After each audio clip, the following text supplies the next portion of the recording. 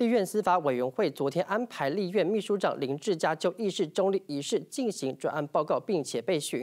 委员会上，蓝委各个炮火猛烈，质疑立法院长游锡坤主持议事时跳过国事论坛，根本是在偏袒民进党。立委郑丽文怒呛立院行政不公，说到激动处，一旁的绿委周春敏也参战，两个人拍桌互骂，火药味相当浓厚。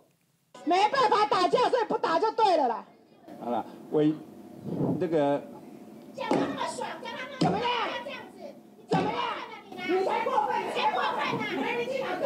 你，不要这样。拍桌互骂，蓝绿立委好大的火气，你一来我一往，谁也不让谁。司法委员会俨然成了两个女人的战争。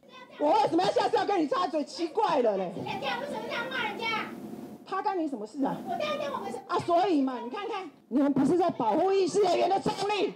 你们是在滥用议事人员的中立。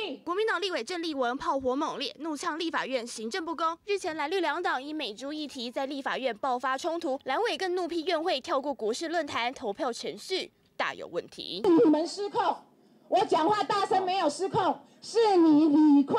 这个。你们才失控了！你们立法院严重失控。面对国民党批评，立院秘书长林志嘉表示，只要一党占领主席台，就没法进行国事论坛。针对内脏之乱，也会要求国民党进行赔偿。叫那个清洁公司来做特殊的清洗跟消毒，呃，是大概五六万块钱而已。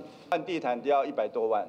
蓝绿战火还没完，民进党三十号紧急假动，立委一场外投，等候备战。所以，所以我今天不怕冷，但是我怕被蚊子咬会爆体。民进党立委赵天林不怕冷，但光是脖子就被叮了十二包，只能拿出蚊香来应战。美猪议题持续延烧，国民两党立法院攻防一波波，周二的立法院恐怕又是一场混战。记者。